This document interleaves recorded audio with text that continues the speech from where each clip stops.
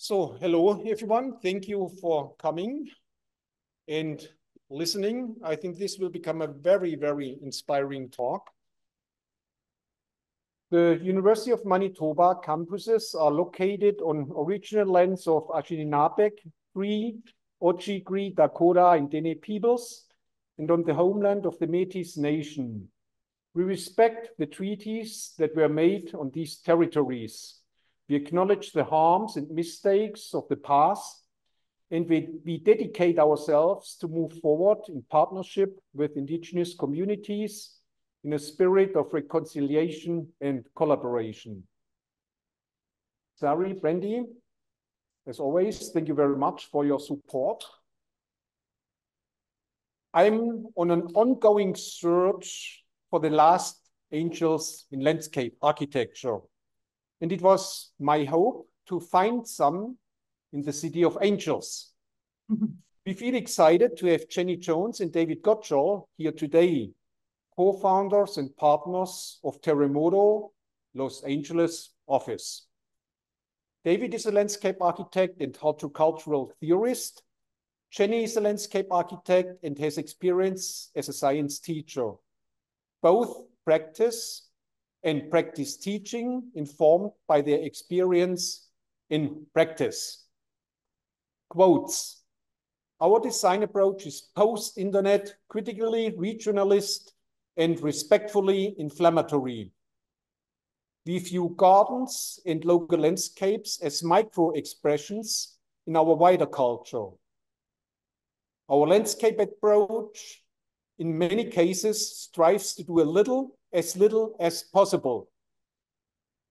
As a practice, we are explicitly a team that eschew both her hierarchy and ego. I could go on and on. Each sentence a statement. Okay, we could argue many texts are written like this with the hope to attract attention. Terremoto is a little bit different. They suit their actions, or better, they practice to their words. Terremoto, winner of Lila Office Award 221, a prestigious, prestigious award, and the choice has been made by a distinguished jury. So we, in this case, I quote the Landezine jury, quote, were charmed by the portfolio of simple and well thought out spaces. But what made us fall for the office completely were their writings that reveal a, that, that reveal a liberating spirit and refreshing attitude behind their actions. A little bit about the office name, David. It's from your interview with SARS. I was in Italy, Terremoto, the name. I was in Italy and the name popped up because it is the word for earthquakes. It's the same in Spanish. Its etymology breaks down to earth moving. But you also mentioned that for you, it sounds a little like the name of a Japanese motorcycle gang. that's kind of cool. You said this is the right amount of ambiguity and gives freedom. There's nothing more serious than the need for radical changes while embracing joy and some fun too. So enjoy David's and Jenny's talk on how to make a radical garden in a world of broken systems. Welcome, David and Jenny. Thank you. Thank you. Can you guys hear us okay? Sound is good? Okay. Sound is good. Uh, hi. Um, we can't see you, but uh, we're thankful that you're here, uh, whether watching or listening. Um, so, and thank you, Dietmar. Oh, we do see you now. Uh, there's a room full of people. Thank you for coming to listen to Jenny and I.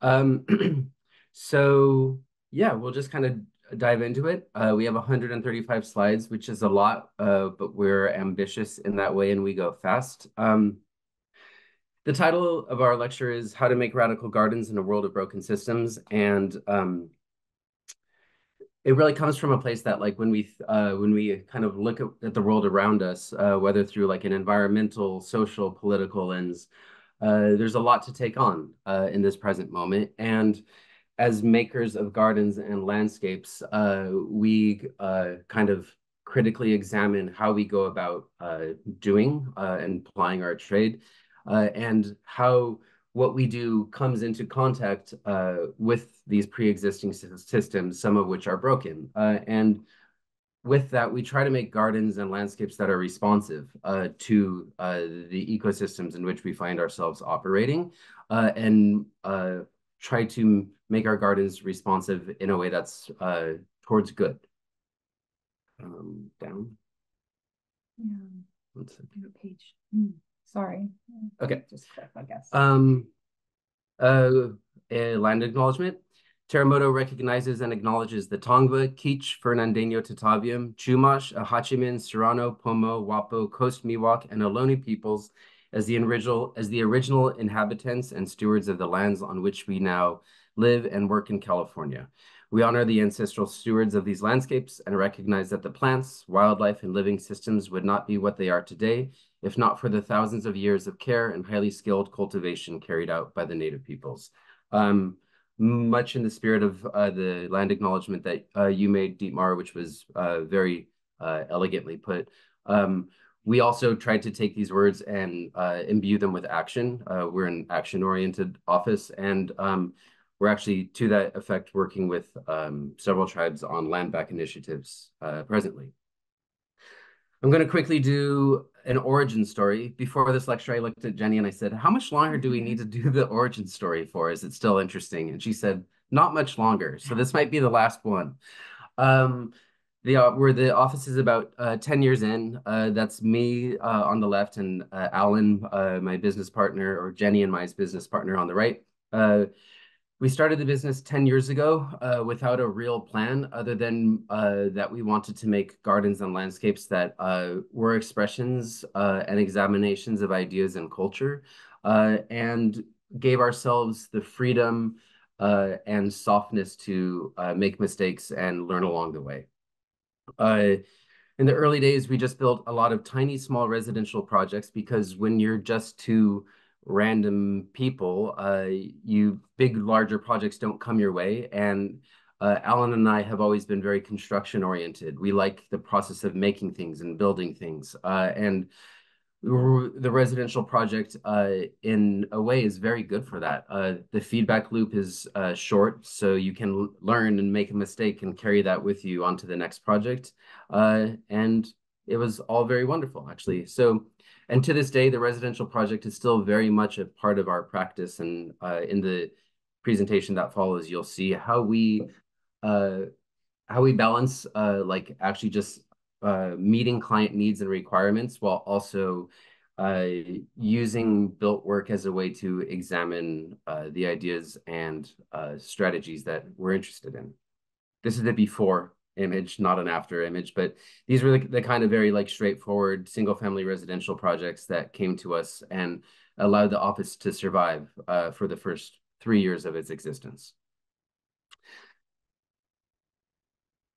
So now I'm going to kind of jump to present day. Uh, a working but an always changing definition for a garden or a landscape, and that's a longer lecture, uh, the difference between the word landscape and the difference and the word garden but for uh, the sake of uh, speed. A garden is a human-led curation of materials and plants built and maintained with labor on the medium of land. And I should add, we've actually changed this definition a few times and it continues to evolve.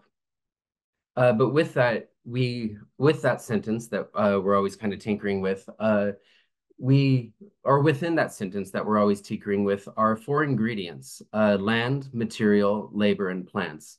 Uh, as an office that prioritizes uh, reflection and examination of what it is we do and why we do what we do and for whom uh, do we make gardens, uh, what that has in turn uh, kind of led us is to really informing our relationship to every to all to one two three and four that are on the board ahead of you above us um, so we're constantly examining uh, our relationship to land. Uh, we're examining examining our relationship to materials, labor, and plants.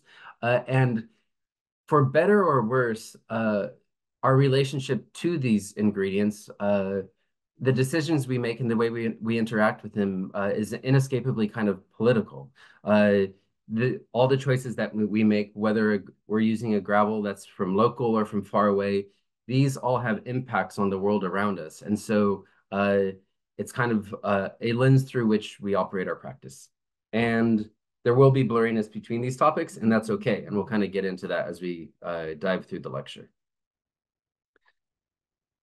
Right, Yeah, okay, yeah. so we're gonna start with land. Um, and as David said, there's blurriness, but I'm gonna talk about land through the lens of a single project. Uh, the rest of the lecture is formatted slightly different, a couple more projects, but this, we're gonna just talk about one project. Won't be able to hit every aspect of land, obviously, but I think it's a good project to, to study for that um, theme. So some ideas around land that we, especially for this project, kept in mind was to read and listen to the land very closely, to consider that the land is a record of our relationships, both to the land and to each other, um, and to consider space and time. Time is another element that kind of like weaves all of those four, um, yeah, all these four tenets together. Um, it's kind of everywhere all the time. Number five technically should be time, but Maybe. it gets really complicated. You guys so can let us know at the end for the you think. sake of brevity and making this a poignant lecture, we left time out, but it's kind of in this one too. Yeah. So Laguna Canyon Foundation is a project we completed um, about a year and a half ago, and it's still one of our favorites. Um, Laguna Canyon Foundation is a nonprofit, um, and they they steward and restore uh, wildlands in Laguna Canyon. And so I'm going to set a little bit of context for you.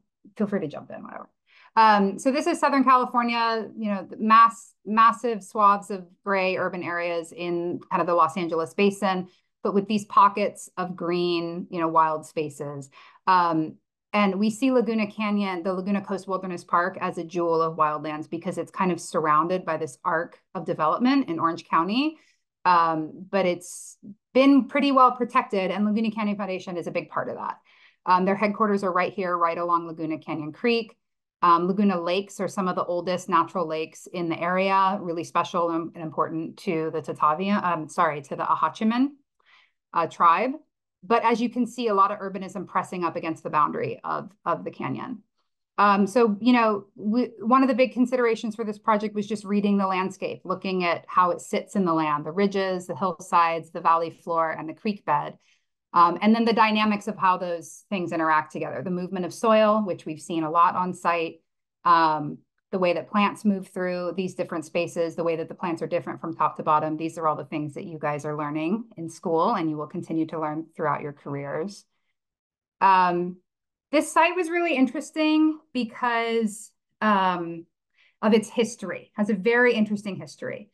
The Acjachemen used Laguna Canyon Creek to move from the beach to the lakes, um, and they were, you know, harvesting acorns along the way, um, using the willows, um, harvesting grasses for basket making. So the creek was a really integral part of their life. Um, when the European settlers came and moved into Laguna Canyon, luckily the canyon, the wildlands of the canyon did not get totally taken over. So here's a little patch that's left over that's become the Laguna Canyon Foundation uh, headquarters. But this land um, in the 70s, up here at the top of the ridge where the water tower is, became a dump. Actually, I guess it was more like the 50s and 60s. And it was an illegal dump, secret. People were just going there unsanctioned, dumping their trash into um, this hollow up here, into the little valley where the where there's a smaller creek. Um, and what happened, it was in 2010, there was a massive uh, storm. I'm not sure if it was an atmospheric river or not, but a big storm. And this dump had actually been covered up and kind of forgotten. The storm caused a massive mud flow and the dump went pouring down the, the hillside and down all along here. And it was a massive mess of that people had even, and it was interesting because people had forgotten that it was there. So this kind of revelation of the waste of our of our history was was really um, upsetting to people and it took them a while to clean up but as you can see where the headquarters are located is actually in the middle of the ground zero for this where they had massive trucks dealing with the cleanup um, it took a long, long time. They were hauling buckets out by hand from the canyon up here, but then they had this massive machinery on the hillside here. And what happened is those machines created terraces on the hillside that you can still read in the land today. And that actually we um, just designed around and decided to work with. Um, there is a school right next door and a, a, small little neighborhood right next door as well. So this was the site when we came to it. Um, there was some kind of regeneration of the natives. You know, the natives bounced back pretty pretty well, but there were still scars of um, this dump, a dump and flood disaster from 2010 on the landscape. Um, and our task was to help Laguna Canyon Foundation make more use of their space, have a more functional um, space where they can work because they're doing active restoration all over Laguna Canyon. And they all they had was this flimsy little tent, and their stuff was all being stored outside. So they needed um, some really great, some really well designed workspaces. They needed spaces for gathering for the community, and then they wanted it to just be open to the community as well. Um, so the first thing we did was just walk and read the site and listen to as many of the staff members of Laguna Canyon Foundation, some tribal members, community members, just listening and reading as much as we can. Really gorgeous place, lots of history, lots of layers of history, some really beautiful intact native ecosystems, beautiful native rock. Um, and here's the creek at the bottom. Here's a section that shows that relationship. So the hillside, and you can see these kind of flattened terraces that we decided to mostly leave and work with. So everything was basically designed around these terraces. And you can imagine that there were big machines here with big reaches dealing with all of the trash. Um, the creek we mostly left alone. That was a different grant, a different project. And I think uh, to interrupt you briefly, Please. that decision to uh, accept the topography uh, because it was functioning in a sense uh, in the in the way that it was uh, is a is a common theme in that oftentimes we uh, to Dietmar's introduction uh, we try not to change a thing unless it needs changing um, and uh, so minimizing the impact or the footprint of our construction uh, is something that we do as a way of almost uh, thinking about reducing the energy costs of a project. Well, and it was it was reducing the carbon footprint, the energy costs, but also it was budget, right? They they had a very limited budget, so we decided let's work with what's there. Another thing that you'll see throughout the presentation is um, accepting the past rather than trying to erase it. I mean, I think there's there's healing that you can try to do on the land, which is wonderful, but also we're not trying to erase the wrongs of the past. Yeah. So there were all these really interesting layers of history on this site um, there was at one point a barn, a horse barn, and some agriculture going on. These old relics we actually decided to keep on site. But as you can see, lots of invasive mustard, just a massive tangle of invasives out in the um, disturbed areas of the site. Massive patch of ice plant that they wanted to get rid of. Um, so these were all the legacies of um, the colonizers and kind of the agricultural practices that were happening on the site. And actually the um, the director of Laguna Canyon Foundation grew up grew up horseback riding on this site. But that use is, is long gone. And now as the director, she's trying to heal the site as much as possible. Still some really beautiful native ecologies intact, Opuntia, Baccharis, uh, Artemisia, Golden Bush. Um, David's gonna talk about beauty later, but what was interesting about this site is kind of this strange beauty where you have um, these relics of the past layered together, right? So kind of all these native plants here, the invasive mustard, and this completely dead agave, which we told them to keep because it was so strange and beautiful. And they loved that. Uh, here's an overall site view. Um, here's the hollow where the ice plant was. And here's the main headquarters. So you can see these three terraces. Uh, here's the neighborhood as well to the, to the south. These are the three terraces that we preserved and repurposed. So the top terrace is the utility terrace where their storage shed, their chemical clean out because they are using Roundup. They do restoration. It's kind of complicated and interesting to us, um, but they, they need it for their work. Uh, three nursery structures where they store can store plants and other materials.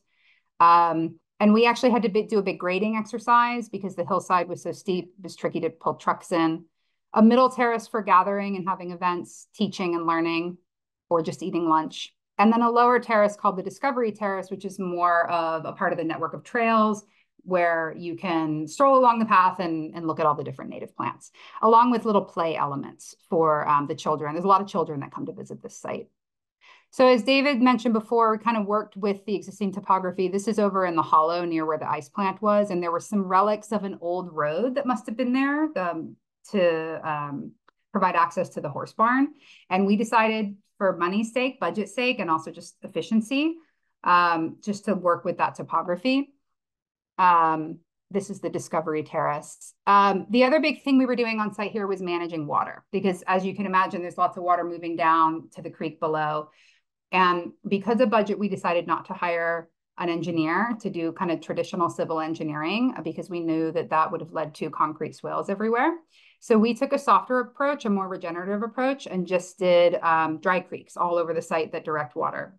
It was imperfect, as I'll tell you later, but that's okay. The fact that um, it's imperfect and that it's evolving as we go, we accept. We used a lot of, uh, reused a lot of local materials as much as possible, trying to keep the budget down, but also just trying to um, minimize carbon footprint. So this, these were from Angel City Lumber. David will talk more about that later. Um, we had an overage of rock from another project that we were working on, and rather than trash it or have the contractor take it back, we decided to haul it back down to Laguna and, and use it there. So we're, we're constantly looking for ways to use materials really efficiently um, across all of our projects. Another thing, big theme of our work in general is improvisation in the field. So yes, we have the plans that we showed you earlier, but we are definitely going out and making changes in the field in collaboration with the contractor. So this is Carmen Orozco, one of our one of our top contractors. We work with him all the time. We trust him. We value his opinion. Sometimes we say, where would you put this trail? And we listen to him. This is the hollow where the ice plant was. And as you can see, there's this kind of this path here, which must have been an old road. And there was this bank that um, formed the edge of the road. And we decided to work with that and have it form. It, it kind of created a natural little amphitheater. So we put this, um, this deck in the middle with more reclaimed wood around and then um, native plants that would have been down in the floodplain. Um, uh, this is a work day that we had with some of our staff. We um, we all have our own projects at Terremoto, but we do a lot of shared collaborative work as well. So this was near the end of the project, and we just invited the whole staff down to come together and move around Deadwood and make edging and make nurse log, you know, place nurse logs. And it was a really nice way to end the project, a really nice bonding experience for our staff and learning experience for everybody as well. And as you can see, we didn't get rid of all the mustard, right? It's still, it's still all back here, but that's okay. Laguna Canyon Foundation knows it's an ongoing work in progress. Here's a little moment we created off the trail. We created a lot of these throughout the project for little secret places to go some more grand seating on the Discovery Terrace. Here are these three nursery structures, which have really become the centerpiece of the site. I love them because they're both bold, but also they allow the landscape to shine, right? The landscape around it is not taken over by them. And if anything, they kind of complement and highlight the natural beauty of the landscape. The children are using the space, which makes us really happy. That's all you can really ask for. Um, and here are some just beauty glamour shots of the space, you know, the trail, um, secret places to go to, and then working with the existing grade um, to provide greater access through the site. Um, it's here's the the headquarters building nestled in the site. Um, we did have an atmospheric river last year. I don't know if you guys heard about this in California. We had another one this winter, but last winter they did suffer some damage to the site. Our drainage, some of the drainage that we had put in got completely blown out in one or two areas. And our point of view was that's okay. The approach we took was a softer approach, and now we're going to come back and rebuild. And when you take that softer approach, it's never fixed and certain forever. You do that with the with the understanding that there's going to be maintenance and care that has to get put into it through over time. Um, so with that, I'm going to turn it over to David to talk about materials. Uh, materials. Um, I'm going to just uh, fly through three small residential projects uh, that uh, each kind of uh, explain a point of view or a, a, way of working with materials that we have. Keep it hyper local, make new things out of old things, and waste as little as possible. Uh, Platform Park uh, was a park in Culver City, Los Angeles. Uh, we were hired by a, actually a private developer, and we usually don't work with developers, and that's a longer conversation.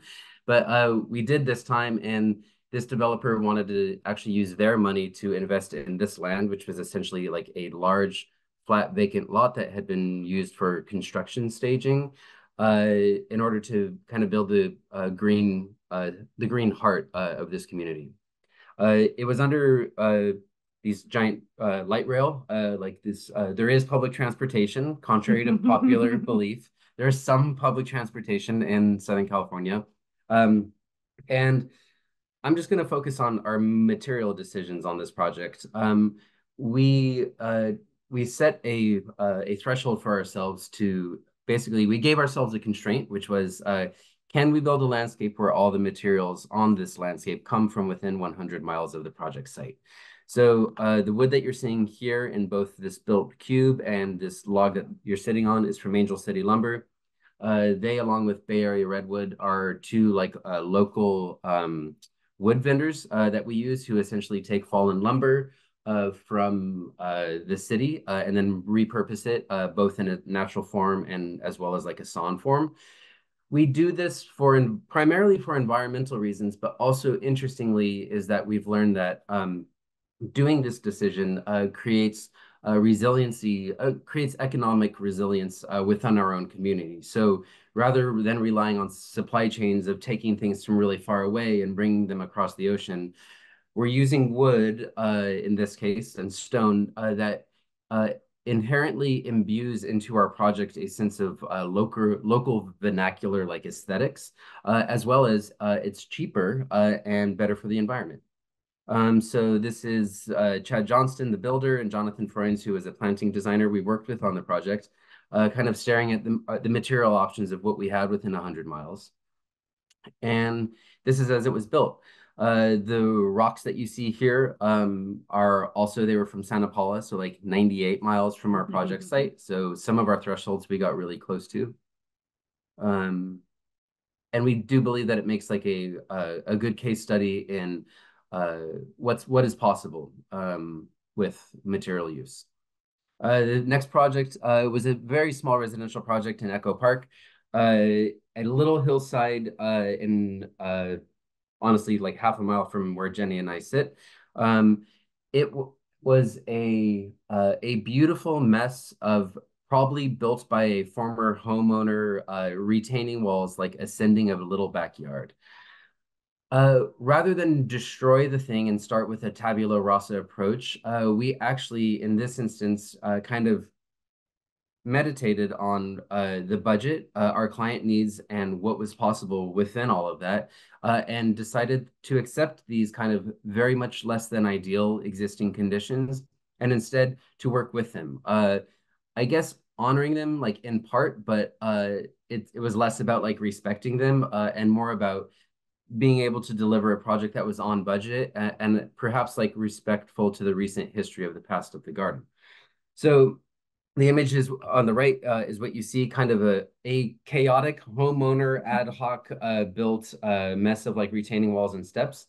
Had we decided to rip these retaining walls out, um, and I should just be frank, the budget on this project was $40,000. So had we decided to touch any of those retaining walls, uh, we would have immediately had to deal with the building department. The building department in its present form in Los Angeles mostly orients towards uh, gross, wild over engineering, uh, as well as making projects in, in cost vastly, vastly more. Which contributes to our homelessness problem. Exactly, which is a, a whole essay you can have us back for uh, on its own. But um, so what we did instead is we uh, we neutralized uh, these existing conditions and kind of uh, uh, made a calm, tranquil, uh, like gave them a calm, tranquil veneer.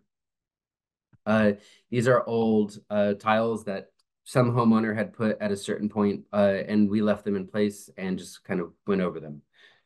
Uh, we built a little meditation uh, platform for our client uh, who has a meditation practice uh, and built a retaining wall out of uh, inexpensive, readily available concrete. This is a way to kind of like circumnavigate the complexities of the building department as well, because these are approved units. Um, and what we ended up with was this kind of like quiet meditative space, a wild garden, uh, and again, old becomes new.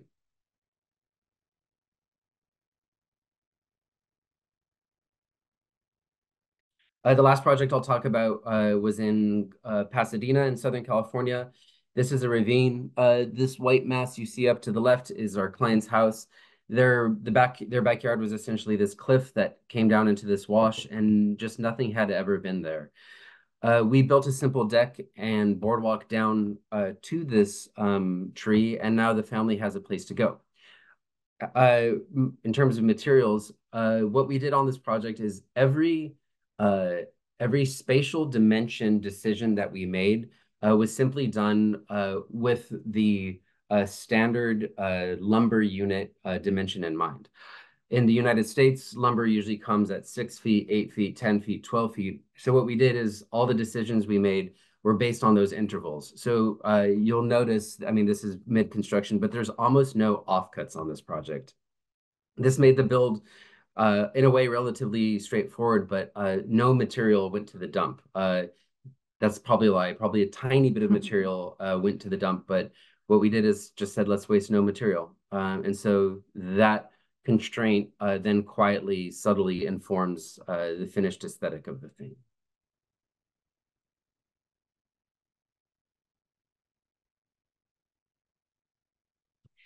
How are we on time? Yeah. Pretty good on time, okay. 10.30. Um, so I'm going to talk about labor now. Um, labor is a big part of our practice. We talk about it all the time um, even with what even it, it, dovetails with materials, right? Because that material economy that David's talking about also then leads to a labor efficiency, right? It's less labor when you're not cutting all these things and making fussy details. I'm going to interrupt you. We Please. also think that uh, the best construction detail would also be kind to the laborer that's building it. Uh, that's something that uh, we're trying to explore in our project where can we design a thing that uh, doesn't that isn't unkind to the people building it but continue sorry yeah so that dovetails into labor um, we consider this in a lot of our projects all of our projects really we would like to encourage others to keep a repair and care mindset um, to to know that maintenance is a good thing. I think in our profession, maintenance has become a bad word. Everybody wants everything to be low maintenance, and we would like to invert that sensibility. Um, we actually also see a, a big, um, there's a lot of efficiency and beauty in designing through labor and care, right? Rather than always having a plan, a rigid plan that you adhere to. Um, and then in general, we'd also just like to elevate labor and care in our profession and in our broader culture. So the first part of labor, I'm going to talk about um, our project called Test Plot, um, which if you don't know this project, um, we have a couple of our plots up on our website. You can go look at them there. There's also the testplot.info website, which you should go check out. So TestPlot is an ongoing experiment in community land care um, that we co-founded with some other community members. The first one was um, also right up the street in Elysian Park. And it was essentially a reaction to a lack of care in LA's public public parks, um, specifically in Elysian Park. Uh, you can see all of these eucalyptus trees, which were formerly fashionable, but now they're highly problematic because they're not actually evolved to survive periods of mega drought that we experience here in Southern California. Uh, massive fire hazard. Yes, they support some habitat, uh, ha they provide habitat for some native species, but not enough. Um, and the, the problem is they push out other native species, as well as the mustard and invasive grasses that dominate the ground plane of the park. Um, so we were interested to see how could we help? What can we do? Because David spoke to kind of the, the problems of bureaucracy here in Southern California and the way that it can be really stifling. So we looked for a way to pierce the bureaucracy and um, start to do native plant restoration in a very fast and agile way. And the way to do it was um, to get this garden qualified as temporary and to work with what was there. So there's an existing hose bib we simply ran hoses off of that existing public hose bib um, as far as they would go. And the shape of the plots was determined by the throw of the sprinkler. So just keeping things, again, as economical and simple as possible. And the idea was um, to, to take these specific plots. And it, the first ones were just really an experiment in could we get um, the ground plane and the shrub layer to regenerate over time, just through volunteer labor. Um, and so it started off like this, we with a grow kill cycle where we watered, weeded, watered, weeded. This is us weeding. Um, and the first plots in Elysian Park have come a long way. This is them in their first year. They look pretty scraggly. There's plants scattered here and there. This is them more recently. They've really grown in. Um, and in fact, more recently than this, we've we've uh, taken some of the fencing off. We're freeing ourselves from the confines of the circles and expanding the plots even more, which was also part of the original vision was we're starting with these plots, but could we um, potentially do little test plots everywhere and um, in that fashion regenerate Elysian Park. This is a recent photo from, from the park as well, uh, from, from the Elysian Park plots. Um, so pretty successful and so successful that there are now, I think about 10 test plots um, in Southern California and Northern California. And Test Plot is, has become an official nonprofit. So we started with a little seed of an idea of what could, just through volunteer labor of us and other community members, what could we achieve with, you know, with permission of Rec and Parks. And it has spiraled out from there to become something much bigger than us, which is um, really heartwarming to see. So this was the second test plot achieved um, in collaboration with the University of Southern California and Jen Toy, who's one of our partners in test plot. Um, again, really humble beginnings. You can see really difficult site conditions, fascinating history on this site that I don't have time to go into, but a lot of compaction. Um, and that this is the site more recently. So it's pretty inspiring to see what's possible through a little bit of labor. So test plot really is a celebration of labor. We're not afraid of the idea of maintenance, of having your hands in the soil. And I think we're we're trying to invert the narratives that have dominated landscape in the last couple decades, which is that um, um, I think that like custom details that you've never seen before that blow your mind, really sexy renderings. This is like the opposite of that. This is very humble and simple. Boots on the ground. It's it's hands in the soil. It's boots on the ground, hands in the soil. This is our, our Baldwin Hills test plot. Um, and the designs of a lot of these test plots came through, emerged through the work on the land. So yes, we did some planning, but a lot of times um, the exact articulation was figured out on site together in collaboration with community members.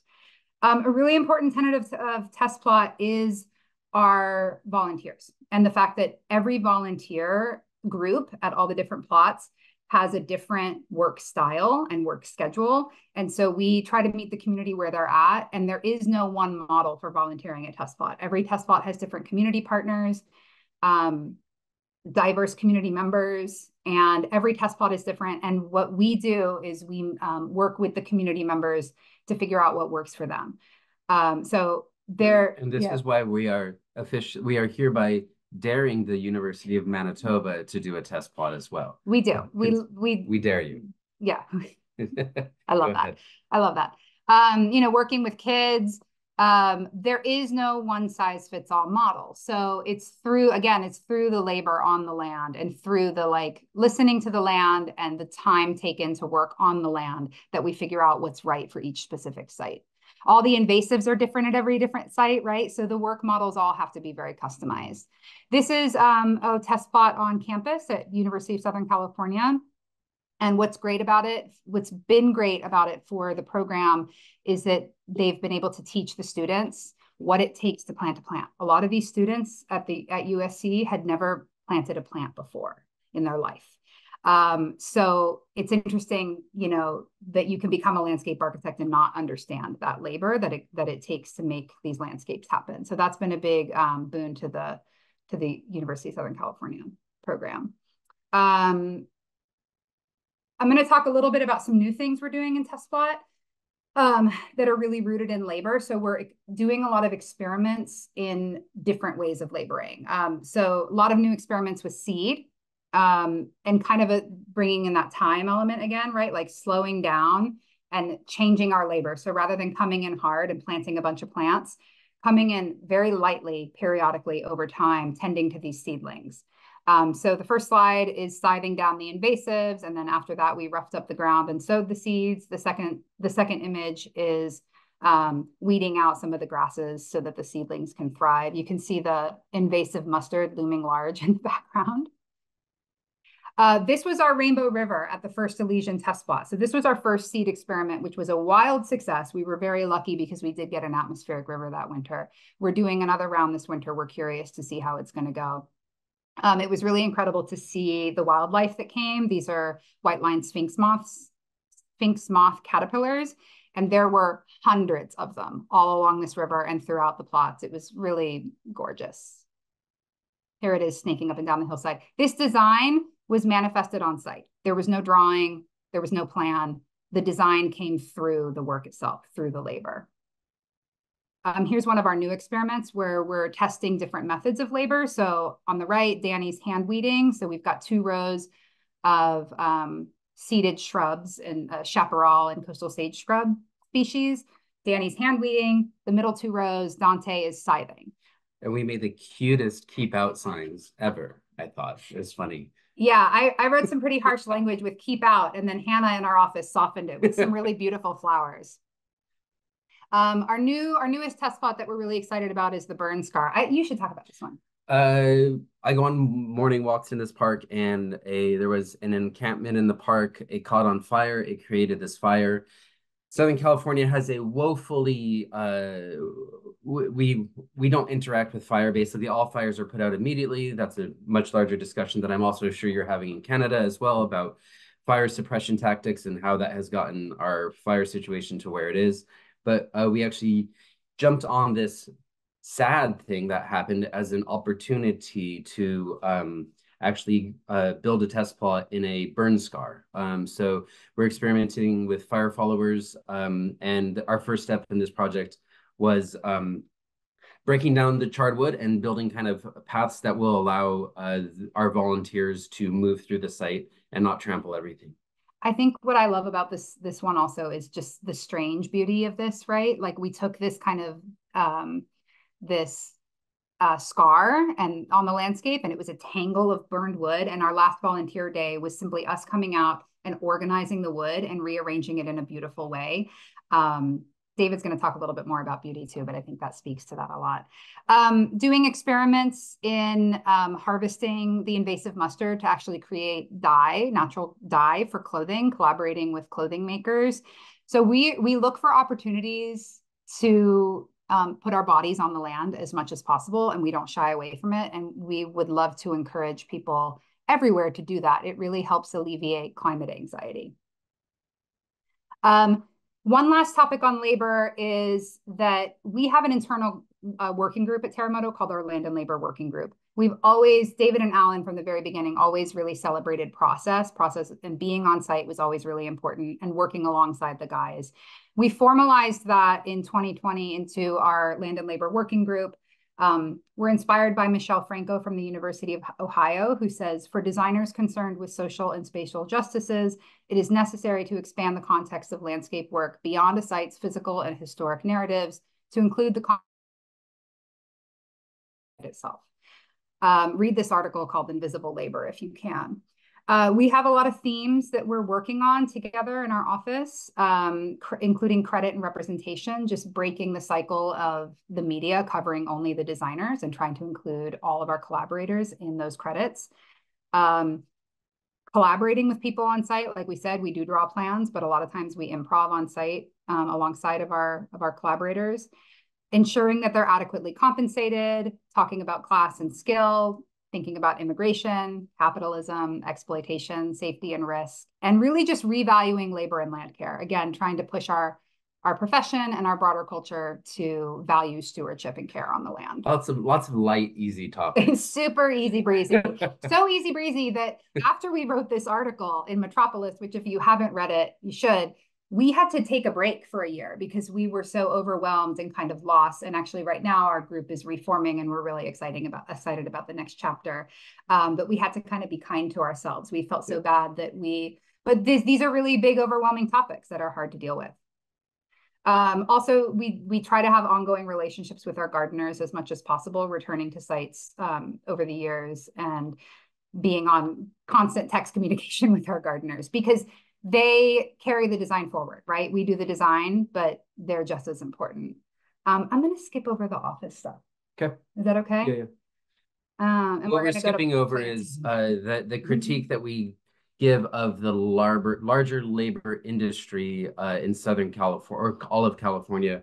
We also apply that same examination to ourselves internally as an office, and we have uh, better than regular, dare I say, pretty darn good labor practices within our office. And that goes from how many hours, of, how we pay our staff to uh, the number of hours a week that people work to uh, our profit sharing model, which is presently at 40% of all profit is shared in a, an egalitarian way uh, across the office. So things we're tinkering with. And and also constantly interrogating that, right? Like always open to feedback and trying to hear from our our staff about what works best for them.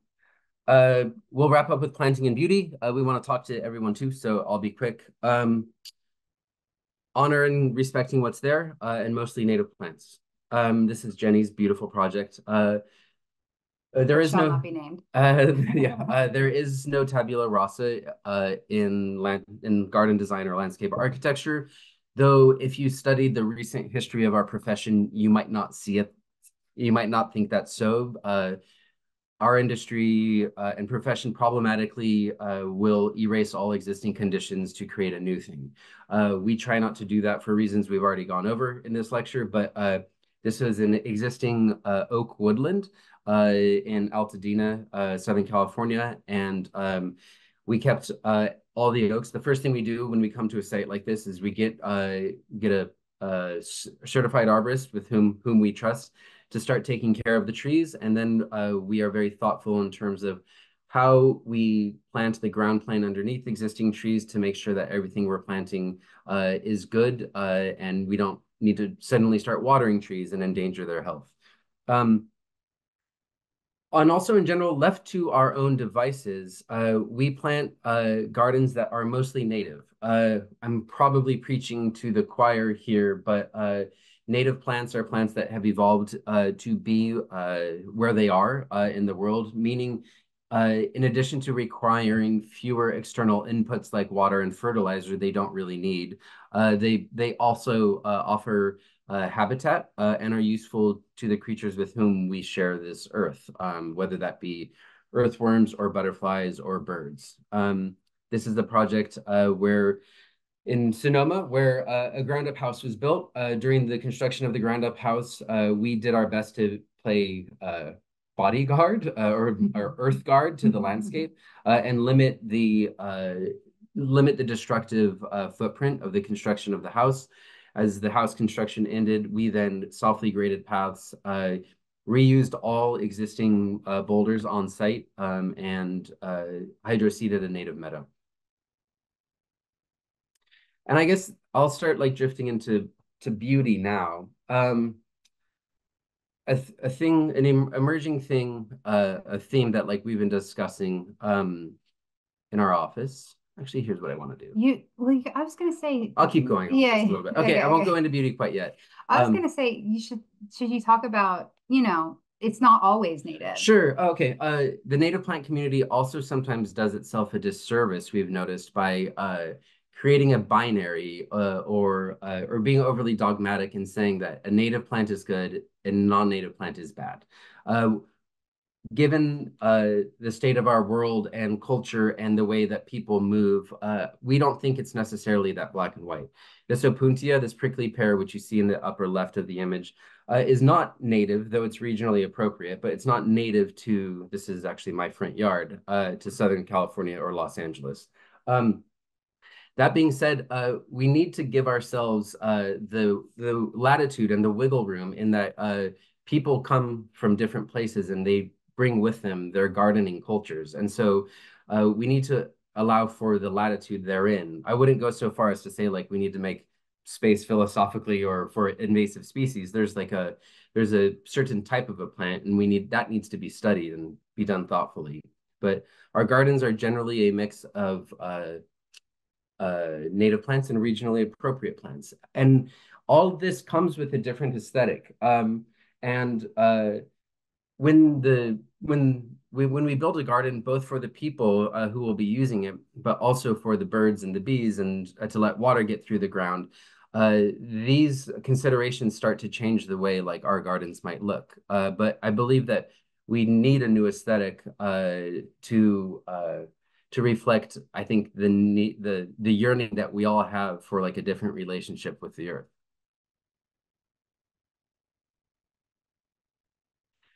Um,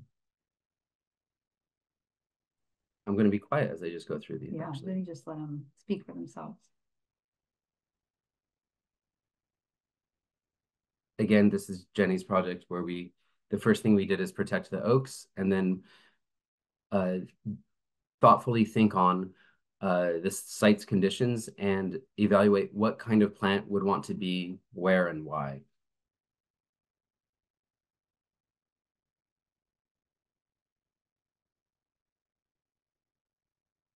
Um, so now I'll drift into beauty. Yeah. Um, so I guess I'll start here. Uh, landscapes uh, inescapably reflect the the values or the relationship a, a society or culture has to nature. Uh, and I would argue that uh, I'm not here to like discredit like this sort of a landscape or this sort of a landscape, which is, which is a modern masterpiece. Uh, but I would say uh, both this, this, and this uh, really uh, reflect a culture that wants to impose its vision of beauty on the land rather than work with the land. Uh, it's easy to like poke at Versailles as like a scapegoat, but uh, this to me looks like uh, a garden of a culture that doesn't have the healthiest relationship to landscape. Um, and so, because our office is int- our, because our office believes that uh, we uh, as a species kind of need to uh, find a better way of being with each other, and we need to find a better way of like being with the world. We're interested um, in exploring what uh, gardens that reflect a healthy, healthier relationship uh, to the environment, what that might look like. Uh, this is a garden that we're building on a vacant lot. Uh, it's in collaboration with a friend and artist named David Horvitz. And this garden had no plan. Uh, we don't actually own the land. We have permission from the landlord uh, who owns the property to build this garden. And this is it in its early form. Uh, and this garden is a manifestation of being us, us and David and the community, the kind of creative community of Los Angeles, being present uh, on a site. Uh, almost all the materials uh, are recycled materials. Uh, we have oyster shells from restaurants and gravel from Terremoto projects, and uh, very little was purchased on this project. Um, but we weeded, uh, we planted mostly native plants. it's constantly being changed benches, uh, rebar. There will be an art exhibit. We try to make the garden as useful and open to all uh, as is able. Uh, currently, it does close and lock at night. In a perfect world, it wouldn't. We're trying to figure out uh, how we balance that threshold. Um, but this way of working or this way of being with land comes with different aesthetics uh, and dare we say that uh, it's very beautiful uh, and deserves uh, consideration uh, as one way of working. We're not like denouncing landscape architecture and saying don't draw plans. Plans are useful, uh, plans are necessary, but I, we do believe that this is a, a compelling case study in exploring a different way of working. And what's interesting and exciting to us is we believe this could scale. Uh, there's no reason uh, public parks uh, at a vaster scale through presence, through joining humans to land, uh, through allowing for experimentation and tinkering and serendipity yeah, failure and failure. Um, it, if beauty is found like uh, in aliveness, uh, I think this garden is, we, we believe that this garden to be very beautiful because it is so alive. Uh, and that's our lecture. Did we it do? It looks like people are clapping. We can't hear. I see a little bit of this.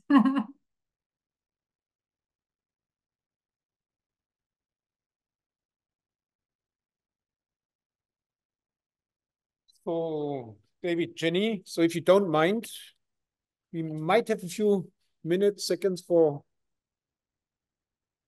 Oh, wait, the screen, you are disconnected. We want to have you again here.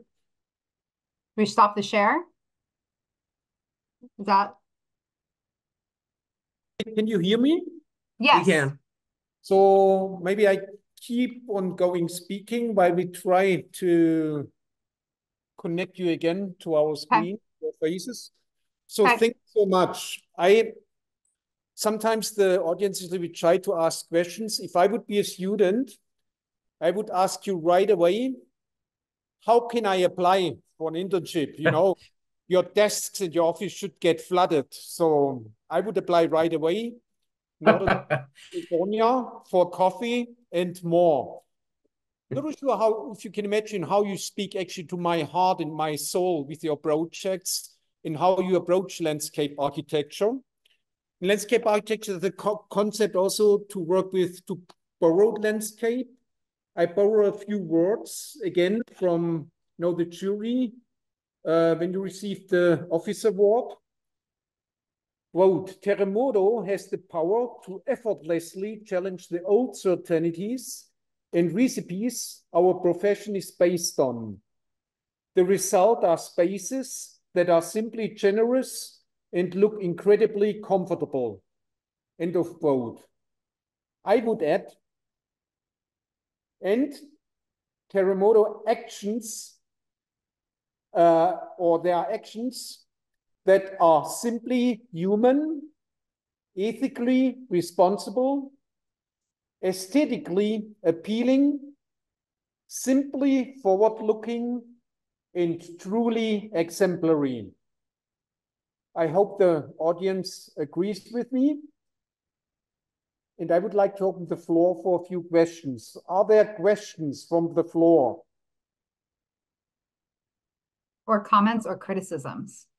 We welcome disagreement. If you don't mind, because you know, acoustic disconnection, if you come here to ask the question right close to Timur, the there's also a question in the chat. Am I good to go?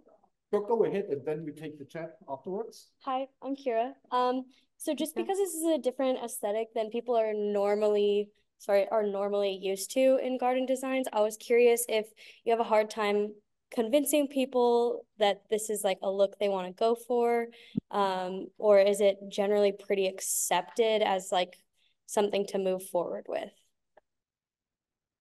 You know, may I? Yeah. Um, thank you, Kira. Um, it's a good question. Um, I would say uh, the honest answer is that in the early days of the office, um, I think uh, our relationship to aesthetics and or uh, ethics and or our wor worldview was less formed, and we were also we just needed money. so uh, I would say that we've also done we we've done historically we did projects that perhaps uh, fell more into like conventional garden design. Uh, as we've grown, as we've uh, as we've grown a reputation, uh, as we've proved our concept, I think many times now, uh, more often than not, we are spoiled uh, because people come to us for that other thing. People don't really reach out to us for a boxwood parterre English garden because I think if they looked at our website, I have one client.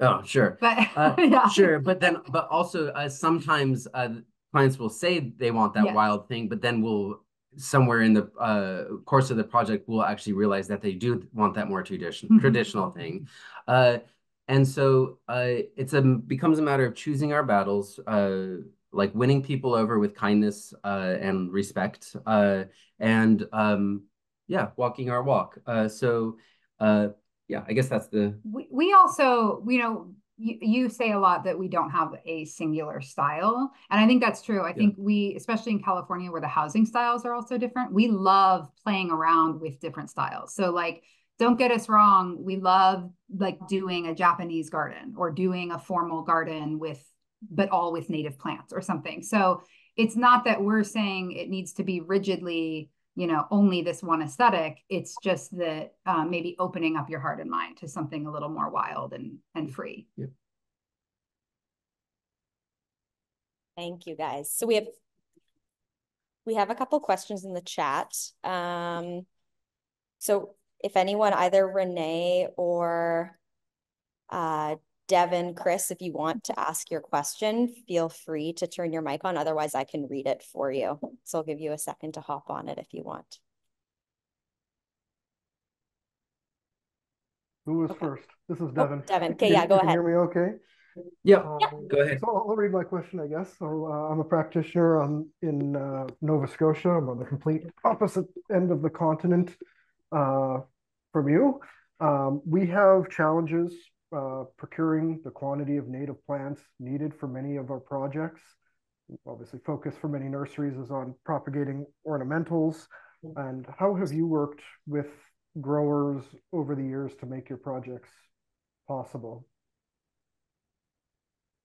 Uh, we do and we don't. I guess uh, we're we're slightly spoiled. Uh, it's a great question, Devin. Um, we're slightly spoiled by the fact that we live in a like relatively large economic engine, uh, and because California uh, has that, uh, there are built-in kind of horticultural industries. Uh, that being said, within the world of wholesale horticultural production, there's a lot of inertia, there's a lot of bad practices, uh, and it's a thing that we bump into all the time. So uh, when able or, or when logical, we sometimes contract grow for projects. Um, and oftentimes we talk to our, uh, we're, we're friendly with uh, Barrelwood Tree Farm, which is this excellent uh, tree farm uh, an hour north of here. Uh, and in becoming, in starting to do business with them, we let them know that we were going to want a lot of fernleaf Catalina ironwoods, which is the Lyonothamnus floribundus. Uh, and that's like a tree that's not really that many, several years ago, wasn't presently like in production because it wasn't a tree that was bought. Uh, but uh, the market economy doesn't always necessarily make the best decisions. So we let them know that they now produce those and we can get them in 24 inch and 36 inch box sizes. Uh, and so that's great. Uh, and then also through, uh, we like to think that through building gardens that look different, that then plants that were formerly unfashionable become so. And uh, the free market, which does have its perils, but one thing that it does really well is respond to those sorts of changes. And if a plant starts selling and showing up in gardens everywhere, the uh, wholesale growers are astute enough to respond and start propagating that plant. Uh, but if you live somewhere more rural, Devin, then it's possible you might have to take on some of that yourself. Our new office has a space and we haven't started it yet, but we aspire to start propagating some of our own plants uh, because even though the wholesale native plant industry in Southern California is quite robust, there are still certain things that just aren't really in cultivation that we want to use. So uh, I guess your question is, how do you change culture? And it's like uh, patience, uh, impatience, and choosing your battles and figuring out like what you can take on. Thanks so much. Thank you. Okay, Renee, you can go ahead. Can you hear me? Yes. Good. Hi, thank you guys so much. I'm a huge fan of your work, and I'm currently a Master's of Landscape Architecture student um, at the University of Arizona. And I was wondering what your biggest uh, suggestions or your advice would be to a first year MLA student? You. Okay. Um, I would say as a for a first year, I would say just be really open open-hearted, open-minded to your teachers and your peers. In your first year, um, you're just beginning a really long journey. In fact, I, I'm still learning every day. So um, don't get if you if you feel frustrated that you don't know things, that's a totally normal feeling. Um, it's frustrating when you don't know things. It's also frustrating when you know things. I, I sometimes find the longer I practice, the harder it gets because you you know too much and it makes decision making really difficult. So have fun and um, look up, you know, look up to the to your your uh, professors and peers and listen to them. Um, and sometimes, you know, do what you're told, push the boundaries when when you can, a little bit here and there. But in your first year, you're really just trying to absorb. There's a lot of lessons in your first year that you you might not think um, really matter, like how to tear the trace paper, but they matter down the line and those things those things down the line in your profession are going to come in in handy everyone at our office tears trace paper beautifully i like that that's what you chose i don't know why that's what i chose yeah little things like that though that that seem like they're they don't matter but it's good to get in that in those habits awesome thank you so much thank you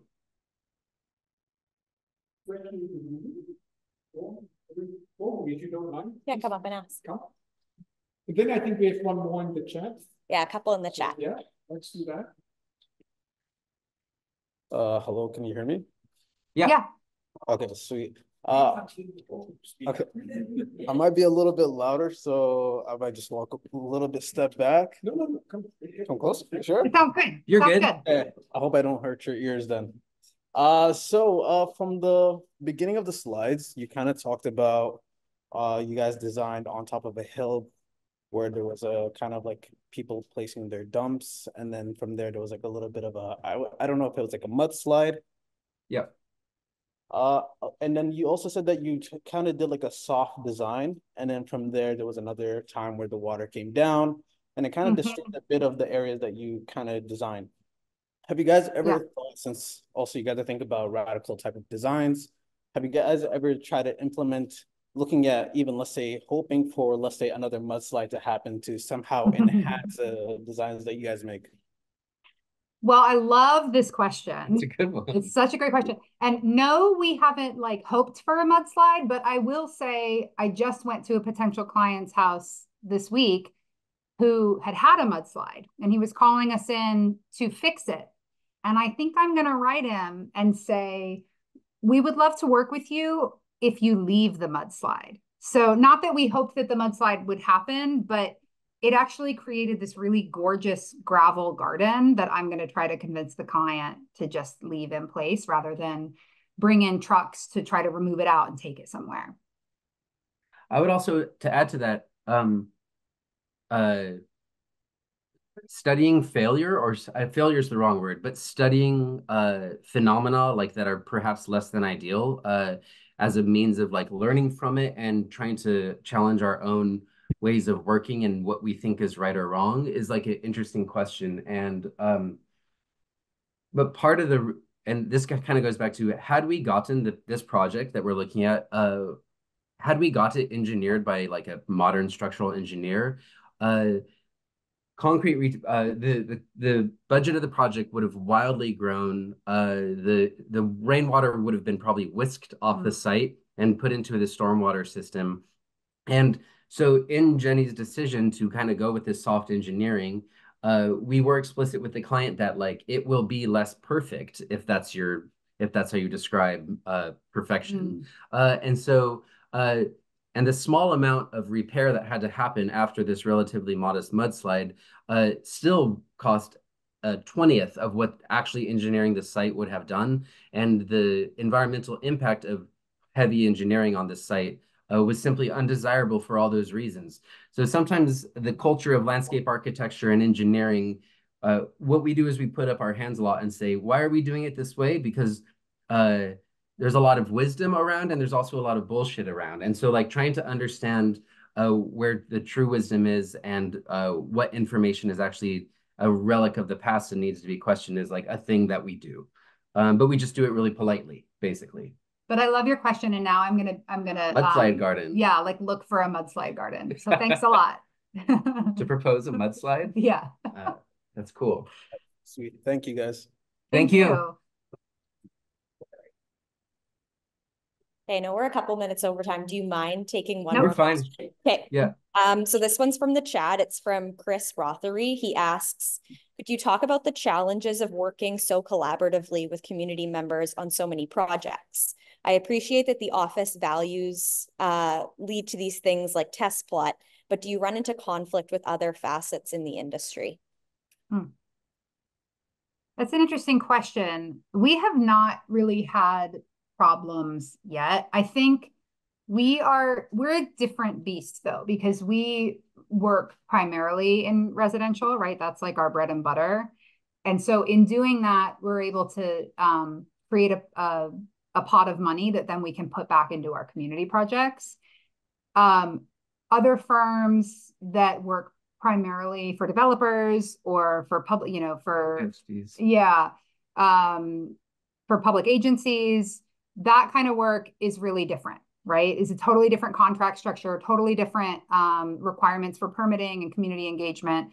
So we are we play a little flat, fast and loose, and we get to do it our way because we work in residential. And I would also say like test plot, all of our projects that are community oriented, um, it's casual. Uh, we haven't uh, taken on a lot of work that requires formal public input at whatever intervals. Uh, a thing that uh, we wrestle with, uh, or a thing that we struggle with at our office is that, of course, we aspire to do large public projects, uh, but the problem is is that the ecosystem or the culture of large public projects uh, almost would require our, our office to become more corporate than it presently is, and that's not something that we want. In that uh, we would need to have a marketing department, and we would need to. So it's it's a funny thing that we're wrestling with how and when and why uh, would we engage with a, a project that re would require a bureaucracy of our office that we presently don't have. Uh, I don't have an answer to that. So that's something that we bump up against.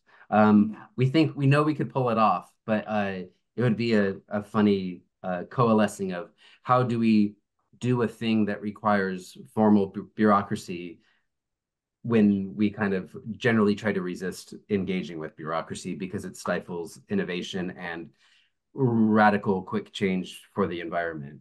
It, we really are students of Julian Raxworthy and his book Overgrown, which calls for a return for landscape. It calls for landscape architecture to return to its gardening roots. Yep. And we really strongly believe that landscape architecture needs to move away from engineering. It actually needs to move away from architecture. I even question the, the term landscape architecture sometimes because I think our climate crisis demands that we soften our approach. It demands that we not put concrete swales everywhere, which are carbon intensive and are bad for the watershed. It demands these softer solutions. Um, so, you know, the softer the solution, the easier it is to get it permitted and to get community approval because it's not such a big deal, right? It's actually like a quieter, it's a quiet project. It's not, it doesn't require engineering and permitting and all those things. So um, we kind of seek out projects that uh, we know are going to go smoothly. Yeah, not that we're adverse to like conflict. Oh but, no, but yeah, um, that's a rambling answer to your question, maybe. Great, thank you guys. Um, I think this Thank actually ties in well to, the, I think what might be our last one here. Um, Okay. so this comes from Susanna in the chat again. She asks, what words would you use to describe this desired contemporary landscape as a reflection of our culture, society? Um, and should we have to na- oh, that we have to nature, sorry, and the environment from your perspective, what should it include? Care, I think resilience. Um, community. yeah. A, a really well-designed garden um, re requires those thoughtful inputs. Um, the term ecological gardening uh, is floating around, and I think it's a, it's as good as a thing that uh, a good of a descriptor uh, as I I've found. Um,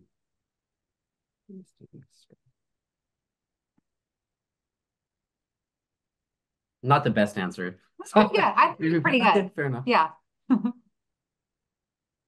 Jenny, David, I think most of our students are expected to be back in classroom soon. Attendance Yeah. here is still mandatory. Yeah, go to class. Go yeah. to class. One, one, one more thing. Um, maybe to conclude, it's a loosely translated uh, from uh, now phrase from Vilém Flusser, the wonderful philosopher and design critic. Uh, critic. He someone mentioned he would or he would love to live in a world of smiling gardens, but the mm-hmm. reality is, in many cases, we surround ourselves with a world of ridiculous gardens. So I have the feeling, you know, with your projects and your approach,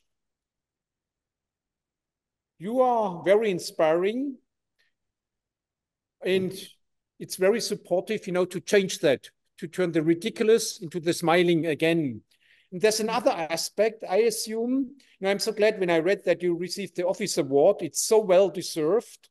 But I think when you would submit some of these projects, you know, I admire but maybe to ASLA, you know, our professional associations, it would be hard to get an award. And I was asking Mimi, you know, she's the dean and probably the only architect in the room here mm -hmm. listening to, to, you know, to our lectures, talking mm about plants and chlorophyll. and she speaks some German as well, and maybe she can might help me. In German, it works very well in German. There's a phrase it calls there's Architektur mit Auszeichnung, so architectural projects receiving an award. Architektur mit Auszeichnung or ausgezeichnete Architektur. How would you translate that, Mimi? I love this. Outstanding, it's excellent. So your work is excellent, but there's no guarantee in the moment that you will receive an award for all this work because you guys, you are so far ahead. But I have to hmm. say, I think I have the feeling I was very successful with my, with my search, you know, looking for some of the last angels in landscape architecture. I will add you to my list. And this is Thank not a religious statement. This is not a religious statement. You know, you don't have to believe in angels or guardian angels, but it's good to have one. And landscape need guardian angels. So thank you very much, you know, for your talk. Fantastic. And I can Thank tell you, the attendance was excellent today. Thank, Thank you. you so Thank much, setting David, up. Yeah. Jenny. We're thankful to be here and thank you for everyone for listening and to you, Dietmar, as well. You're on our angel list too, Deepa. Yeah, you're an angel too. Keep in touch, please. And are we allowed to share your email address in case there are some applications? Uh, info Yeah. at terremoto.la. We, it would be great. That's something for Brandy. I'm not really sure if she if she listens still. We would like to add your name to our co-op list. Would be great. Yeah, No, I'm for program. cool. It's info at terremoto.la, Brandy. David, Jenny, thank you so much. Thank Thank you. you, Take Deepa. care, and we'll Thanks, keep in touch. We will. Bye. Bye.